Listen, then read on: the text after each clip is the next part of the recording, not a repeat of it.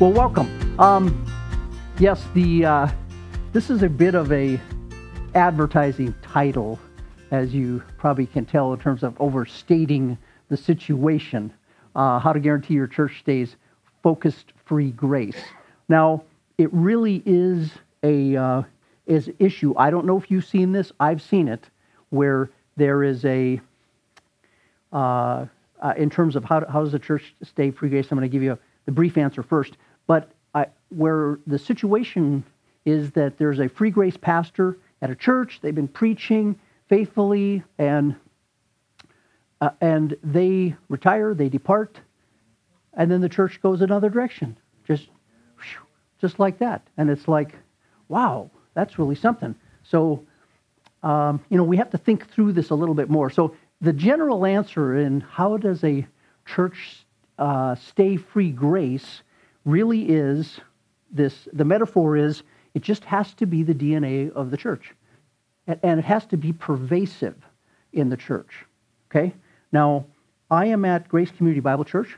Bill and Mary attend our church, and Bill uh, has been an elder at various times at our church. We are in process in terms of the lead pastor's free grace, I'm free grace, Bill's free grace, and there's other people that are, but we have not achieved pervasiveness yet in the situation.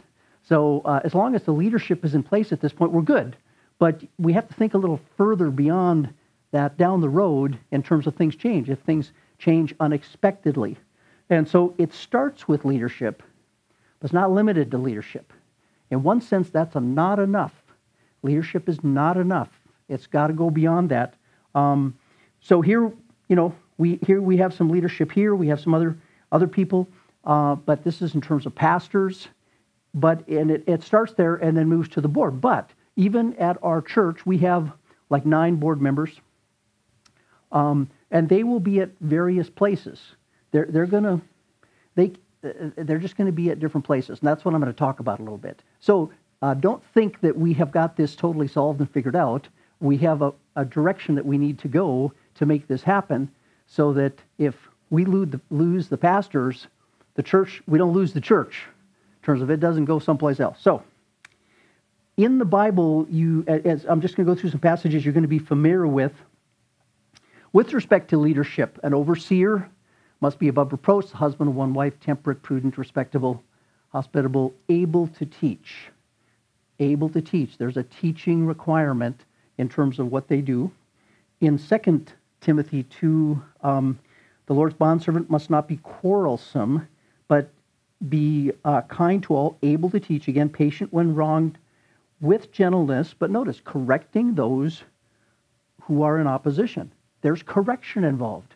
There's a, there's a truth issue, and we have to correct for it. Um, if perhaps God may grant them repentance leading to the knowledge of the truth. We sometimes tend to think that's with respect to um, non Christians or unbelievers. No, and he's talking about people that are getting off in the leadership's responsibility to help keep them, and that includes uh, correcting. It does.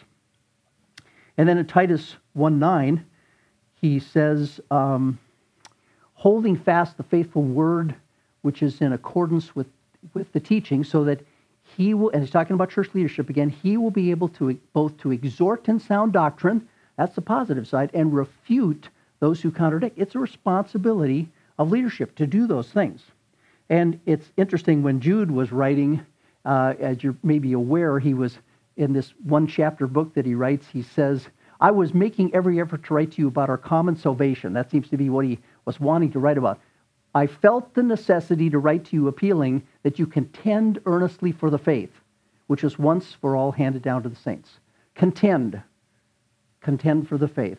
So, um, you know, there's, there's activity involved with this to keep things uh, uh, in line. Now, back to the question of how do we get this to be part of the uh, part of the church culture, the DNA of the culture. Let me give you ten suggestions, things that that uh, we're doing, and uh, and I'm sure, and you guys may have some other ideas besides. I don't have the final list on this thing in, in any sense, but we do have to be intentionally thinking about this because it's just not going to accidentally happen. So here's ten specific suggestions. Okay. Now, let me just state the obvious one first.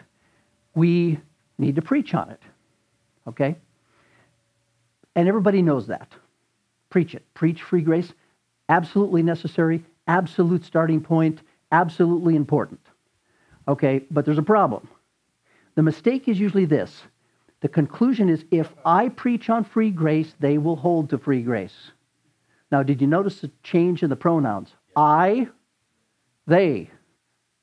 Big assumption. I will preach on free grace, they will hold to free grace. Not necessarily.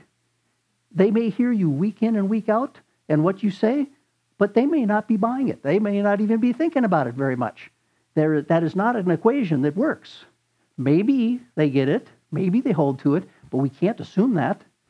And that's the scenario I've seen where there's a pastor that's leading a free grace church and he departs, and when they're going to go get a new person, being a free grace pastor isn't a requirement.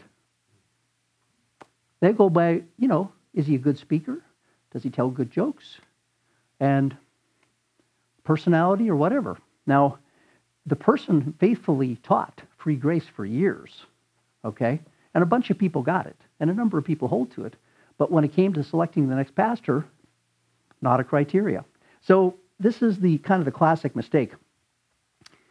With um, Benjamin Bloom, has anybody, it depends on if you're into education stuff. Have you heard of taxonomies of, yeah, okay. Taxonomies of uh, educational objective. One of the things we have to understand is that there's progression. If you hear something and then you remember it, that's great. That's down here. Remember it. If you understand it, that's even better. Uh, if you can apply it, that's better. If you can analyze, evaluate, and create. So notice there's a progression in terms of depth of understanding that people have concerning whatever topic. This is just a secular guy that is presenting this, but he's acknowledging rightfully that there's different levels of understanding from very basic to comprehensive. And we will, just to oversimplify it a little bit, not meaning to be, to be his diagram, but people have opinions. And then some people, they don't not only have opinions, but they have beliefs. They have a belief, and some people have, even have convictions. Now, notice the difference? And there's various depth to where people are at. And so, what we're doing has to help people just not be able to repeat what we say, but we really need people to understand it. And with free grace, we need people to defend it. We need people to be champions for free grace. But that's up here, okay? That's up here. And you don't just get there uh, by, you know, them listening every week. It takes more than that to get there. So I'm going to give you a second suggestion. Here's a phrase. How many of you heard this? Words create worlds. Word create worlds. Anybody heard this phrase before? I'm still not exactly sure what to think of this. Uh, it's very popular in some circles. Words are critically important, uh, but I, am not sure. But it's an interesting phrase, and I think it has a good point that language makes a difference.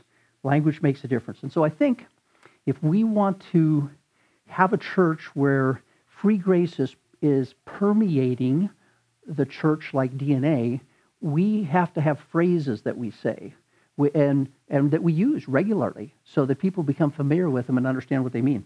For example, uh, Jesus plus nothing. Jesus plus nothing. Phrases like that. Jesus is enough. Adams Road is a group of uh, former Mormons that do, uh, and their family is from our area, and they have t shirts and stuff. Jesus is enough. Joseph is not. Okay? So, and then if we're going to define things, do we define them clearly? Here's, here's, in my opinion, the irreducible minimum believe in Jesus for eternal life. I, I, I can't reduce it any more than that. And biblically, that seems to be the best we can do. Well, are we clear? Do we say this often? Do we have other people say it so they, you know, they learn it? Another one, what does the text say? What does the text say? Okay? Um, that's another good phrase. People have, uh, you can be sitting in a Bible study and people have come up with all kinds of ideas, and, and I'm going, okay, now, no, where in the passage did you find that? Where is that? And you're driving them back to where does the text say that? Because uh, sometimes people just are happy to give whatever their opinions are. Um, and then my three rules for interpretation context, context, and context as well. Um, get people to, to know that and say that and think that way. There's some more uh, phrases Jesus' performance, not mine. Um, I'm a zero point Calvinist. Um, Bob just did a, uh, a video on that. Um, changing the word from gospel to message of life. Gospel is very broad, and uh, that's, that's good news. And there's all kinds of different good news good news of the kingdom and good news of other stuff. And so, uh, message of life, though, that's what we're about. Uh, understanding what does believe mean? Um, persuaded or convinced that something is true. Persuaded or convinced that something is true. A lot of people don't, they never pause to think what believe is. And I remember sitting across from a guy, and he's like, I mean, he said, how do, you know, I was telling him about believing in Jesus. He's said, well, what does believe mean? Who knows what believe means? I said, no, actually I do. Let me tell you what believe means. You don't seem to know what believe means. Let me tell you what it means being persuaded and convinced that something is true. That's what we're talking about here, okay? Uh, but people are, there's kind of all over the map. So using these kinds of phrases. Pardon? Oh, I sure did. Look at that. Lost the signal. They did not persevere. So, okay. Well, okay. Oh, okay. My, my point is have some agreed upon language because I don't know if words determine worlds, but words capture culture. Words keep culture if we're using the phrases. Now, you guys can decide at your churches what words and phrases you want to use, but find ones that, that you're really comfortable with and that you want people to say, and so that there's some commonality in language and people know what it means. Uh, that'll help permeate it into the DNA of the culture. When we do a uh, new to grace class, we explain to them, we go over our beliefs and what we're about and expectations so new people can get instructed from the beginning. In our new to grace class, it isn't a membership class, it's a two part class where we are telling the people who Grace Community Bible Church is. That puts them in a position to decide if they want to be part of Grace. Okay? But we try to be as transparent as possible.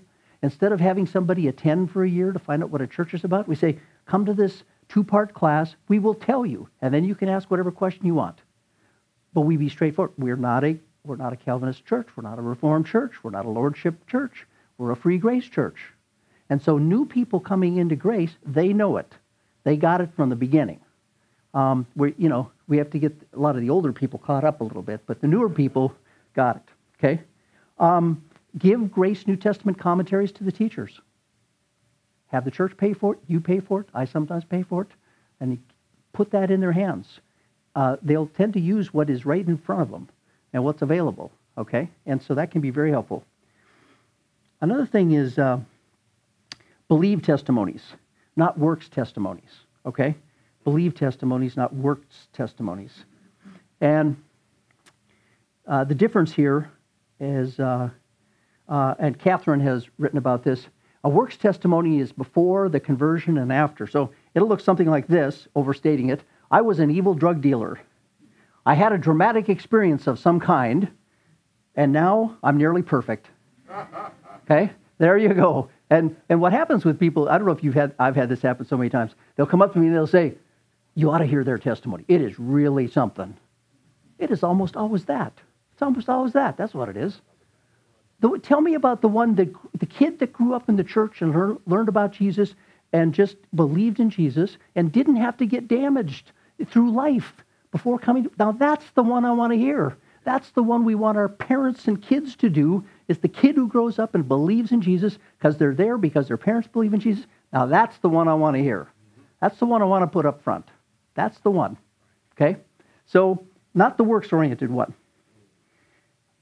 Instead, have a faith or belief oriented one. Belief. Uh, often people are saying, Well, I'm trying. I hope I make it. Don't know. And then they believe in Jesus for eternal life. And then afterwards, they have certainty of eternal life.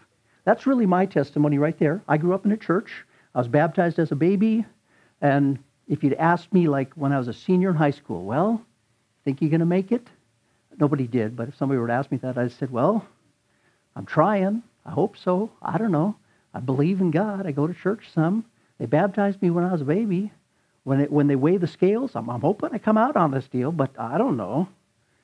Kind of a thing. And then as a freshman in college, I believed in Jesus and found out that there was this great passage, 1 John 5, 11 to 13, where it says you can know if you have eternal life. I was like, why didn't, everybody, why didn't anybody ever tell me about that one? That's a good one. Nobody talked about that you could know if you had eternal life or not. They just come to church and do whatever. So, uh, another way having to do with faith and belief is I didn't even believe in God. That might be, and the person does come to believe in Jesus for eternal life, and then their testimony is, well, what is it that changed their mind? What is it that changed their mind? That's a great testimony to hear. How, what did God use to get your attention to believe? And so we will, when we do baptism videos, when we do baptisms, we do videos of the baptism. So, and, and I record them. I sometimes coach a little bit, make sure they're doing okay, so that we have a testimony that's right in terms of being presented. And let's see. Okay, the sound is not going the right place. Give me a moment. Let's try that. Hello, my name is Eleanor Rico. I'm getting baptized today. Last year was a very difficult year for me. I had doubts about God, doubts I had never had before. But when the summer rolled around, I went to Bible camp. I've never gone to something like that before. And I have to say, it was um, an amazing experience. During and after, I felt closer to God. The music and the lessons really touched my heart and helped me grow in Christ. And a couple a couple weeks ago, I went to the fall retreat. It was awesome in itself, but what really made it special was the connection I felt, not only with God, but the people I was with. I'm here today because I want everyone to know that I believe in Jesus for eternal life and belong to Him and Him alone. Now, you may look at that and you may say, well, that's a pretty feelings oriented uh, kind of a thing, okay? Um, but she's, she's explaining how God worked in her life. I don't change her story, uh, but she, we talk about believing in Jesus for eternal life to make sure if that's true in her life, um, it, that that's included. So the statement is clear. Now, these, these baptismal videos still vary. They really do. Um, this one isn't like a poster child of the example I just was articulating to you, but just an illustration of, of what can be done. And I think that helps reinforce free grace in a church. Q&A individuals through James 2. It's very interesting. I've I will teach on James 2 in my class, you know, 35 to 50 people. I, I can teach on James 2, and, and, a few people it'll click with, but whew, uh, a lot of going over the heads. What I've found is I will sit down with somebody across the table. I'll take my Bible, I'll go to James 2, and I'll open it up, and I'll put it in front of them, and I say, okay, let's start at, actually, I don't start at James 2.14. We read the 19 times that they're called brothers in James. We start with that 19 times brothers, and then we get to 2 1, where it says that there talks about their faith in our Lord Jesus Christ. They have faith. And then we go to 214. I say start reading, and then I ask them questions. And I make them process it. I have found this very workable. It also takes an hour and a half for them to see it, but then they see it me just telling them, we're back to the whole preaching thing. Well, if I told it, then if I told you, then you should have it. Well, not quite. Okay, not necessarily. So, um, but then these people have it, and and and it, it is it is so much fun. Light bulbs go on. You can just watch them. They're going. Oh, I never saw that. Does that mean this? And I'm like, yeah, yeah, you got the idea. It's a great time, truly give out Grace in Focus articles to people. Uh, I think Charlie Bing's grace notes have a lot of great information that are really helpful. Um, this is from uh, Norman Geisler that I had at Dallas. use two column charts, not the counterfeit dollar bill thing. The counterfeit dollar bill is not right. That isn't the case. It doesn't work. If you're dealing with Mormonism in Utah, counterfeit dollar bill doesn't work. They use all the same language. Uh, you, you can't sort through it. That's not the issue. You need to know what they're doing in terms of counterfeit. But even with free grace, um, some people say works are necessary to confirm saving faith, and they'll say that's a that's the issue. Uh, works are necessary instead. Works are necessary to be useful to and and to grow. That's really the case. It's a sanctification issue. Works are not a justification issue. And so if you spell it out like that, in our case, Mormonism, faith and works are required. Reformed, a faith that produces works is required. A grace perspective, faith alone, apart from works. And so if you can spell these out, and of course, in this book with these four views, what's interesting, works will provide evidence that one actually has been saved. Works will provide the criteria by which Christ will determine the eternal destiny of people. Works will determine rewards, but not salvation. And works will merit eternal life because of the union of the believer with Christ. Three out of four works are required. Only one of them doesn't. Which one? Which position? One, two, three, or four? One, two, or three, four? Three. Yeah, that's Bob Wilkin. That's number three. It's the only one that doesn't say works are required. Okay? But people need to see this sort of thing. Let me so those are kind of specific ones. Let me give you five more general ones, and then we can take some questions. Um, give people time to think and process what you've presented sometimes people have never heard a free grace perspective before. They have to think about it for a while. Give them, give them time to think. Give them time to think. I remember this has happened repeatedly where I'm, studying something and I go see and I read what Zane Hodges says. And I'm going, nah, I don't think so. No, no, no, no. Okay, I keep studying the passages, count the passages, keep looking at it, keep studying it, and then I come back and I'm like, huh, boy, I think he's onto something there. But it takes me time. Uh, we have to give other people time to process, especially free grace stuff. Um, don't make everything about free grace. Now, you can push back on this, but the concept is uh, I don't like it when the Reformed people take their theology and cram it into every verse, whether it's there or not. Okay? I don't think we should do that. If the passage is not really talking about free grace, it's talking about something else, we'll talk about what the passage says. Don't now, in our messages, for example, we try to be, make a point of talking about believing in Jesus, a free grace message of life at the end of every sermon, but we but every passage is not about free grace. Okay? So just be honest with the passage. One of the I, I'm on this is something I'm on at the moment. Eliminate Christianese. The, I'm talking I'm talking to more non-Christians all the time. Christianese doesn't mean a thing to them. Doesn't. And I'm finding out it doesn't mean a thing to a lot of Christians either. So I'm like, try to say it in plain language. That's an interesting communication thing. How to say it without using Christianese. Okay? I think it's a valuable exercise. One of the things that's very helpful is show how a free grace perspective uh, makes passages more valued and relevant. And it really does. Whether it's First John or whether it's James or it's Hebrews, it's like, oh man, we've been missing the message on these books. But free grace helps us to see what the message is. Be gracious. Be gracious. This can show up a lot of different ways. Here I'm doing a sermon. I'll uh, let me suggest that it's at least a minor example of being gracious. And then he goes on to say, For he who lacks these qualities is blind or short sighted. Sound familiar? Forgotten his purification from his former sins. Yeah. He's writing to believers. If believers are not doing this, he says they're blind, I think, to spiritual realities. They're short sighted in terms of thinking about life.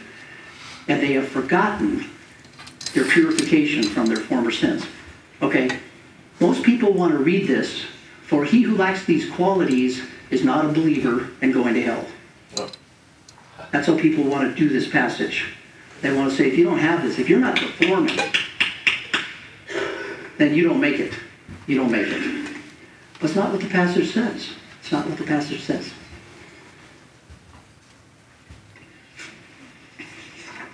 Here's the point.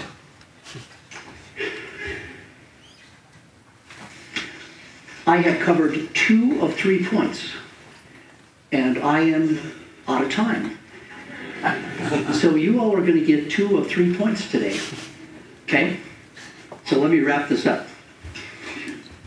For believers in Jesus Christ who have eternal life, God has. Okay, that's me being gracious from the front. Now, some of us are so committed to our message and so committed that, boy, these people got to hear what I have to say, and they're getting tired and they've been sitting there for a while, that it's my message is more important than you sitting there. Okay? And it's like, nah, we're out of time. I'm going to stop now. Did the, did the point in another. You got all three points this morning, by the way, on, on that passage. You got them all three. I got them condensed down so I could, I could get through them in the, all three of them. Okay, but be gracious, meaning be thoughtful of the other people. Put yourself in their perspective. If we're going to talk about grace and free grace, we should be, we should be some of the most gracious people there are. We should be gracious and kind with people. That should be. I think we need to be mindful of uh, generations. I'm getting caught on this as a baby boomer. Um, I'm a little bit. I periodically get myself in trouble. I'm a little bit of a bull in a china closet with millennials and Gen Zs. Um, we just we just come at it from different places. Here's uh, uh, my son Michael, who's right on the line uh, between a millennial and a Gen Z. Uh, he's been helpful, and I think we have to be mindful of this. Now, the second major influencing factor in millennial culture was access. Millennial generation was the generation coming of age in the internet. They were coming through the AOL instant messaging and the starts of social media that became what it is today. And that highly influenced their culture and how they operate. Part of that could be the addiction to technology. However, at this point, every generation is addicted to technology. Because technology is in fact designed to be addictive. It's really scary. If you've not looked into it, it might change your view of technology. Uh, but millennials were impacted by something much more specific, in that they had access to every news of anything around the world at all. And that influenced how they viewed the world. Because what kind of things would they see when they're looking at news every day? Well, you know, maybe they can find some cat videos that are hilarious, but they're getting the bad stuff. They're seeing the evil in the world regularly. They're seeing the destructive, broken governments. They're seeing the war and the impact of war in people's lives. They're seeing the influence of poverty for people. They're seeing the sex scandals in churches. They're seeing the evil things. And this has led to another distinctive part of their culture, which is authority. Millennials distrust authority. They've seen it break. They've seen it be a problem. So they don't trust it, which means they don't trust your church. They don't trust the leaders in your church. They don't trust the government. They don't trust the educational system. They've seen it break. Maybe they experienced it break. They maybe saw the family unit break personally or through a friend. So they distrust authority. They don't have a reason to listen to you unless you give them a good reason to listen to you. Kind of interesting. Um, you can look that up. He did a whole session. This is just one of his points. Uh, but it's been helpful for me to interact with my son. Uh, it's very interesting. Uh, phrases to avoid. Phrases to avoid. this, uh, this is probably going to be more, uh, uh, you know, um, baby boomer kind of stuff. I don't care. You know, somebody tells me something, and you may, inside that would be completely true. I don't care. Okay, well, we can't really be running around saying that We can't really be saying that. Uh, in our head, again, we may be saying they're, they're just idiots. They're just idiots.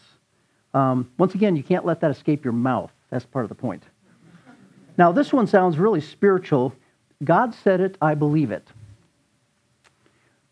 That works for truth oriented people, okay? But that's not where everybody's coming from. And so this is, is viewed as a non thinking approach, a non thinking approach. Um, and so we have to be mindful of that. Judging statements, making judgments, that uh, typically not very helpful. Um, statements that are better, you have to kind of take the edge off of some of the things. I- I'll use this, and you know, I can't, I couldn't use this in a theology class at Dallas Seminary, but when I'm talking to people, I'll say, well, let's go see what God's opinion is on this. Because people are open to this concept of let's put different opinions on the table so I can kind of decide, well, let's, let's put God's opinion on the table. Have you thought about that? What does he say? Let's take, let's take a look at that. And it doesn't sound so forced. It doesn't sound this authority hammer thing. Um, and so I find people very, uh, once again, younger people very open to that. Well, let's see, let's see what God's opinion is on this thing. Something for you to consider. Now, do you see what that's doing? It's letting the person, you're respecting what they're going to decide. Here's something to consider. Or asking them questions. Well, what do you think? Instead of me just giving what I think, kind of a deal. If we disagree, you say, you know, I, I don't see it that way. Rather than saying, you're wrong, you're an idiot, say, you know, I, I don't see it that way. And of course, you all know this, but I'm just going to remind you grace and truth. Grace and truth.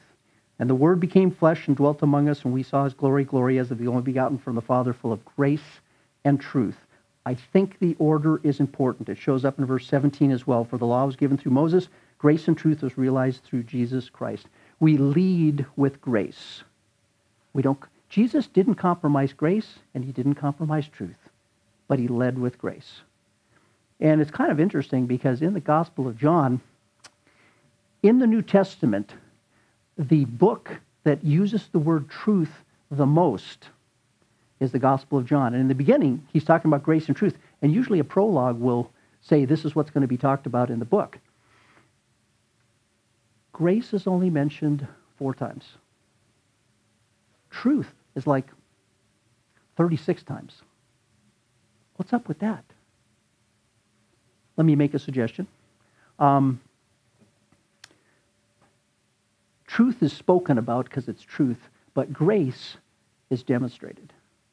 Grace is what the way we get grace out of the Gospel of John is Jesus and what he does. When we hit John 8 and the woman caught in adultery, pure grace.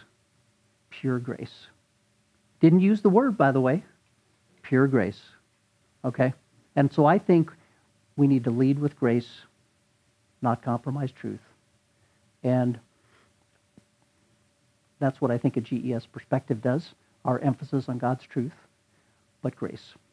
And so uh, those are just some of my suggestions, but we have to frame this as I need to get the DNA of the church, not just leadership, but the rest of the church. So if somebody in a class, somebody comes in and start teaching something else, the people in the class say, hold on a second, no, that, that doesn't sound right. No, that, that's not what we hold to here. We have to train our people to be discerning on that sort of thing. So anyway, those are my suggestions. Um, I'll take some questions. Not that I have the answers, but there's some questions if you have some. Yeah. The Q and A um, in, in uh, James two, what kind of questions you were talking about? You were starting discussion Yeah. questions. I, I don't know if I'm having specificity there. Yeah, well, you didn't. I did a workshop on it last year, so that's where the specificity was. Um, but I'll say, I'll turn this over. I'm using the New American Standard here, and I'll say, okay, read verse 14. What use is it, my brethren, if anyone says that he has faith but he has no works? Can that faith save him? And I'll say, well, what's what's the topic he's introducing here? Now realize, and I'll say this to people, I'll say, you know, when you're reading something, it's about a topic, and then the as you go into the passage, he's going to talk about the to- topic and say something about it. The topic, and he's going to say something about it. And I say, so what is our topic? And he says, they'll say, well, faith and works. I'll say, no, that's what he's going to talk about. What's the topic? Well, I, I, and they'll look at my face. I said, the answer's not on my face. It's in the passage. Look at the passage. Okay, so what use is my brother and family says, yes, faith. Well, okay, it's about faith. Well, it is. He's going to talk about faith, but that's not the subject. What's he talking about here? Uh, you got to go earlier in the verse. Push back earlier. I said, go to the beginning. What use is it, my brother? I said, okay, now, right there. What use? Use, yeah. That's he's talking about. He's writing to believers, and he's saying, "Well, now, what use is this?" That's the topic. And what he's going to talk about it is that faith and works, faith without works, is not of use, not useful. Okay, and then when he when he drops down and he gets to 16, which is just a little ways down, he uses this example of not giving food to somebody, and it's a brother or sister, it's a fellow Christian, and he says, "What use is that?" He, this is the subject. What use is it? And he demonstrates that with Abraham, his willingness to sacrifice Isaac was useful in growing his faith to maturity. Rahab's willingness to hide the spies was useful in delivering her and all of her family's life from temporal destruction when Jericho was destroyed. He's making the case for how useful it is for believers to act on their faith. But I need them to see it. So I'm asking, I'm just doing Q&A. Does that help a little bit at least? Yeah, it is. I, I think then, how do you make the transition? Um, it's, it's, I feel like it kind of leaves a usefulness. Okay, now what, how do I guess now it goes to the next level. Now how do I apply it? Is that where you were showing in the pyramid earlier? Is that where are you going with that? What is your thought? I'm where I'm going with that is I want them to discover what the passage says, not what I told them the passage says. That's the process I'm going through. Do you see it? And I don't know if they see it unless I ask them questions and they tell me. That's the feedback. And that's the part that's cri- critical because me just telling them doesn't mean they got it. Them telling me and me asking them questions, now I know if they got it. And I want them to have ownership higher up on the pyramid. Bill. Um, one of the points you didn't mention, I- and I assume you do this already, but uh, who you control, that who you allow to be teacher, Yeah, and then control the curriculum that they might want to use. right. So I, I'm the gatekeeper on who teaches and, and what we use. So there needs to be a gatekeeper. I do notice on some of our curriculum in the kids, Yeah, there's a little calculated thing. there is. Yeah, because there, because we, some of the stuff is answers in Genesis, and so, um, but we're trusting you to straighten that out. And you do, yes.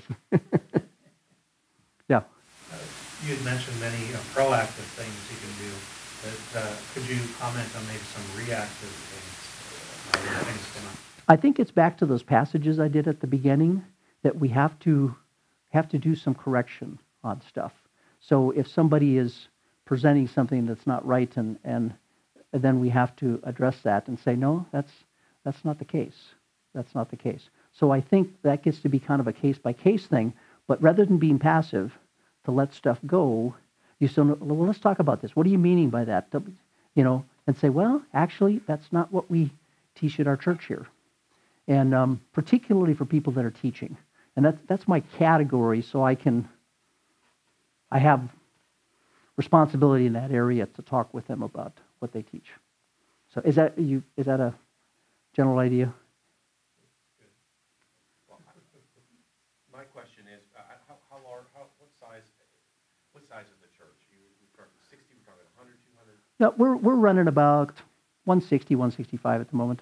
Okay. So- Okay, so um, I guess reactive could be a couple different things depending on how long you've been maturing with the church. How do you get a pulse for um, the uh, the atmosphere? You know, where you can maybe feel like it's starting to veer, or there's people that are coming in. You got new people coming in all the time. They come into the groups. How do you how do you get that? How do you what kind of listening campaign do you use, or what kind of strategy you use to get the pulse? Okay. We, uh, we just have to talk to people and we have to listen. But we're particularly focused on who's leading stuff. So not just the elders, but the teachers in different positions. Um, we, we have an elder board and then we have ministry teams. And so we have team leaders. So elder board and team leaders are key people. Um, and it depends on if they're doing teaching or what exactly they're doing. But those are the ones that we have to keep track of. Now, new people coming in, the new to grace class lays it out clear. And, and we'll have people that say, no, that's not uh, yeah, uh, and we'll say, you know, isn't it good that you know this now so you can make a decision instead of attending for a while and finding out this isn't the place for you? That saves everybody a lot of hassle. So um, let me close this up because I'm done, and then you can just ask me questions after that, okay? So let's pray. Dear Jesus, we want to thank you for the message of life that we have the responsibility and privilege of sharing with people and the teaching of God's Word. Help us to do that. Help us to be people of grace and truth that don't compromise truth, and that the message of your free gift of life is clear in the churches where we're at. Help us to um, be part of the DNA that preserves the church with that truth. In Jesus' name we pray. Amen.